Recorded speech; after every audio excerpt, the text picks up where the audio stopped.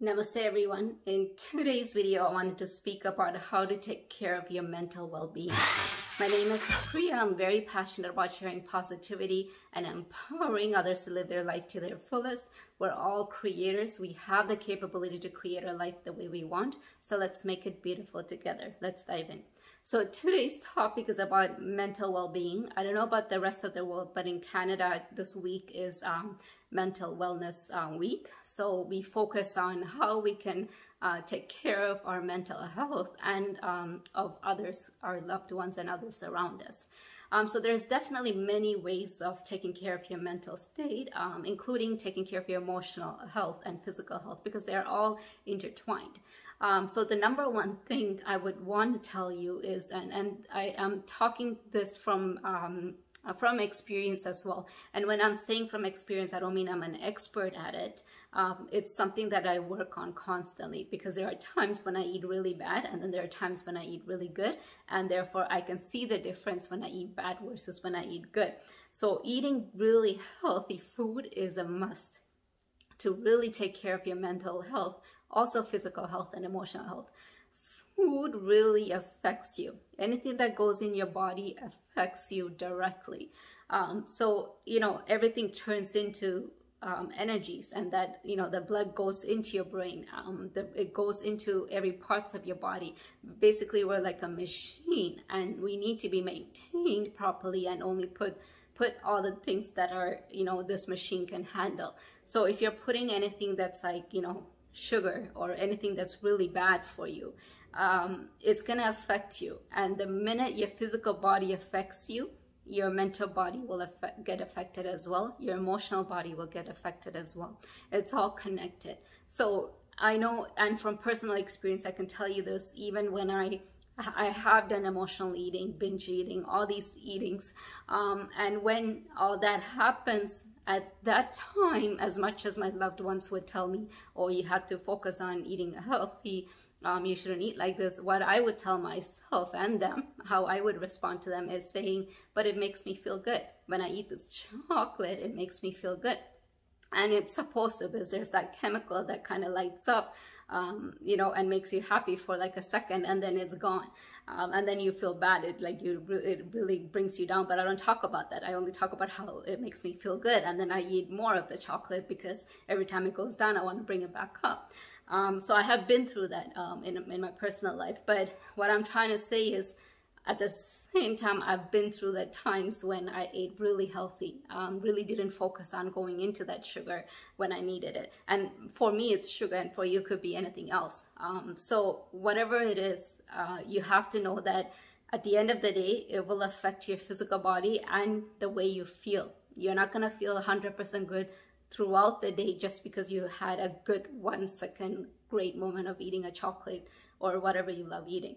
So that's uh, what I want to say is that make sure you eat really good, wholesome food. The nutrition is something that you need. You need that in your body, um, and that will help you emotionally and mentally as well. Your, your brain needs it, your body needs it, your gut needs it, every part of you needs it. So make sure you eat healthy. So that's one way.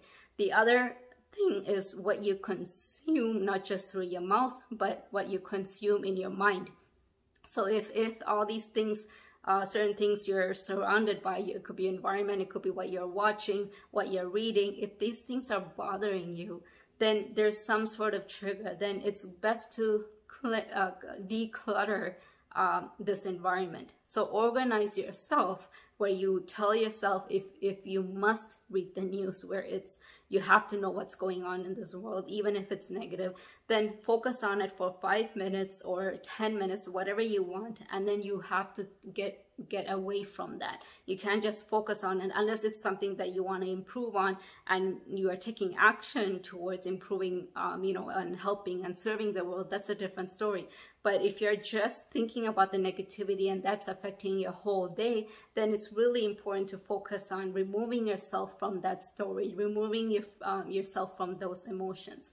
Um, and you really need to take care of yourself. And this, I'm talking about your loved ones too. There are so many people that you care about, but if they're constantly consuming your energy, you need to protect your energy. So it's important that even if you tell yourself, I'm going to spend one day or um, half an hour a day, or it could be one hour a week to this person to you know be be helpful and give my ears but the rest of the time i need to focus on protecting myself and focusing on building myself so make sure you uh, set some boundaries um, organize yourself where you know um, how your energies are being consumed. You need to be in control of that. You can't just let everybody consume your energy. And I'm not talking about people. Um, it could be um, things that you're watching, things that you're hearing. Um, so you be in control of that. The next thing I want to talk about for your mental health is really um, get out there um, into the nature and connect yourself with nature.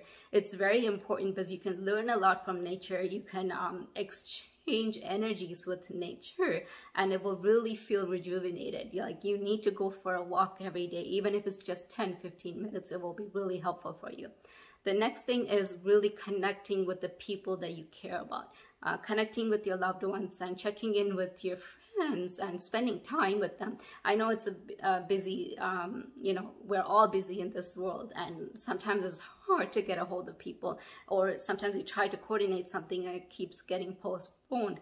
But at the end of the day, it doesn't matter if it gets postponed 10 times. Just make that effort to book the 11th time and meet up um, because it's important to even the face to face is important but even if not face to face use the technology these days to you know meet people through the phone um, not just a text message but to actually see them if possible. Um, these are just some stuff but there's so many other things that I can share with like getting help when needed. Um, it's about acceptance what we are going through. Um, you need to accept that it's happening and you need to sometimes you know people get into that state where they feel like no it's it's okay. Even if they know that it's not okay they tell themselves it's okay they don't need the help but it's okay to get the help um, we, we all go through this. Every every single person does. And now there's broader understanding of things and uh, broader um, um, availability of resources than what we had a long time ago. So use it. Um, use the services. If you don't want to talk to the people you know already if you feel embarrassed talk to the experts out there that that can still help you. So whatever you need help, make sure you're open, to, uh, have an open mind to getting help. Um, and, and it's not just for you, but also for your loved one. If somebody needs help, make sure you offer um, them all these resources that are available and tell them that it's available for them if they need it. Um, so these are just some of the things that you can do. There's obviously plenty of other things that you can do to for your well-being, like you know doing meditations every day, doing positive affirmations every day, exercising every day, drinking lots of water. Water, we are all made up of water, so it really purifies us when we drink water. But also setting some great intentions in whatever actions we do makes a great um, impact in how we do things.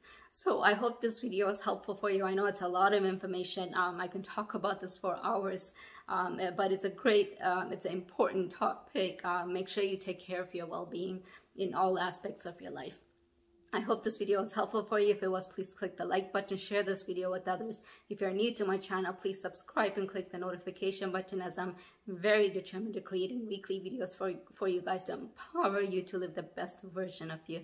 Until then, namaste.